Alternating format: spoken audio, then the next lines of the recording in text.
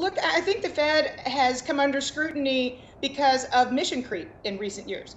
It, it, it, constantly says, gee, if, if Congress would just do its job, then we wouldn't have to do all this heavy lifting. I say hooey to that.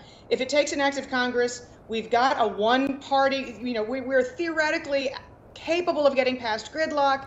If it takes an act of Congress to reduce the Fed's mandate back down to just minimizing inflation, take the labor mandate out of the equation, put it back in the hands of the private sector, admit that what was done in 1977 was wrong. That's A. B. We're no longer a nation that we were in 1913 when the Federal Reserve Act was originally conceived.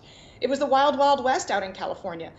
Look, Janet Yellen watched the subprime bubble blow up on her watch. It's fair to say, and I've blasphemy, we need a little bit more bureaucracy out on the West Coast, or at least more eyes and ears. While you're at while, while you're adding one on the West Coast, no no offense to anybody in Minneapolis, St. Louis, Cleveland, they could theoretically, economically be absorbed into Chicago and save the taxpayers a lot of money. Uh, so I would take it down to 10 districts.